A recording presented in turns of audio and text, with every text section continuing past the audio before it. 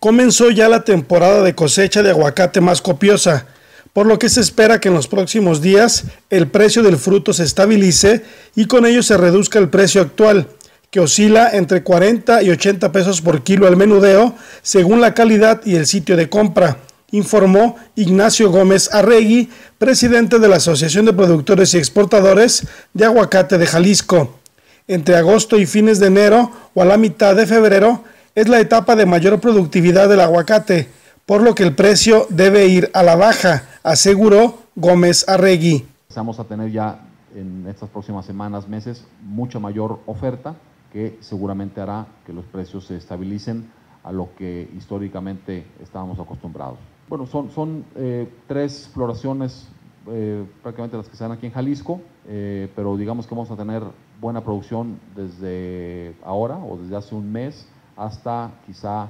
eh, enero, finales de enero, eh, mediados de febrero.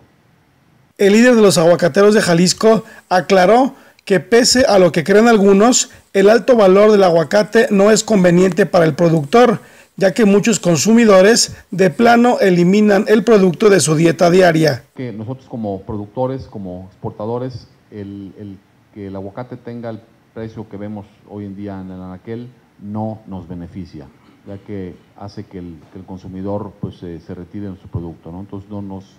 es algo negativo inclusive para nosotros. Un factor que ha generado el precio caro del aguacate en el mercado local es la alta demanda que se ha dado en otros países que compran el fruto jalisciense, advirtió el secretario de Desarrollo Rural, Héctor Padilla Gutiérrez, quien dijo que además de la pulpa, se aprovecha la cáscara y el hueso, por ejemplo, para preparar test que son relajantes y que tienen antioxidantes en igual o mayor medida que los frutos rojos. Por eso está teniendo un impacto impresionante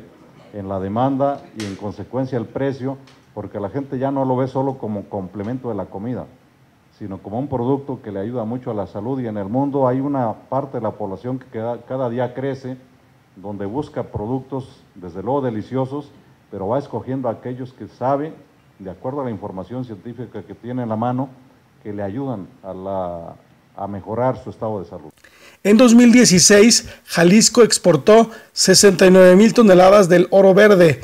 35% a Canadá, 30% a diferentes países de Europa, 25% a Japón y 10% a Centro y Sudamérica, Hong Kong y otras naciones del Medio Oriente. Jalisco ocupa el quinto lugar en el mundo como productor de aguacate Hass, superando a países como España, Sudáfrica, Israel y Australia. Con imágenes de Rubén Fraire, señal informativa Ignacio Pérez Vega.